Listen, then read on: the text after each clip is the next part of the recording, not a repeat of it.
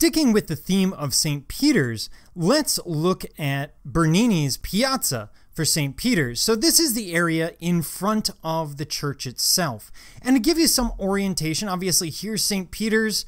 Uh, the Sistine Chapel is back here. These are the uh, papal apartments.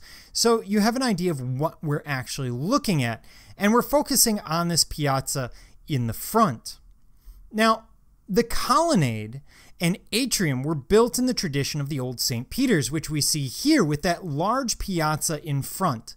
This comes from early Christian architecture, where most of the churches would have had a large courtyard. This, of course, makes sense in the Mediterranean because the climate allows for it. Whereas if we were building it in Wisconsin, for example, you wouldn't want a big courtyard because you couldn't use it very much. But back to the structure. When Bernini is designing the piazza, he has to work around two different structures, really three.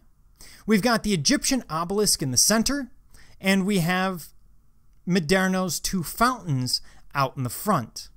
These features were used to define the long axis of this elliptical piazza.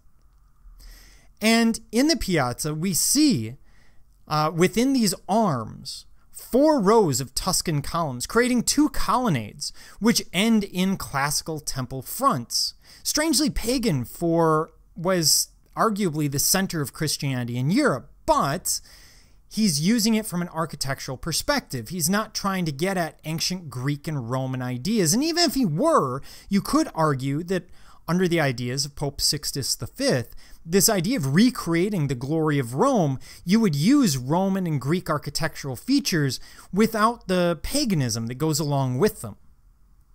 And they're meant to, or the colonnades are meant to embrace visitors, symbolizing the church welcoming the flock. In fact, this is one of the drawings done to envision what this piazza is doing, minus the obviously broken humerus. The verticality of the colonnade also accentuates any verticality that can be found in the facade. This constant attempt to draw the eye up to the spiritual is going to be intentional.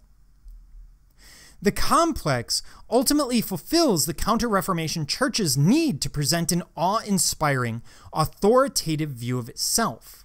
What the church is trying to do is basically point out to the pious believer that this is the center of Christianity, this is the holiest place in Christendom, here in Rome, and that gives power to the papacy. They're at the center of this.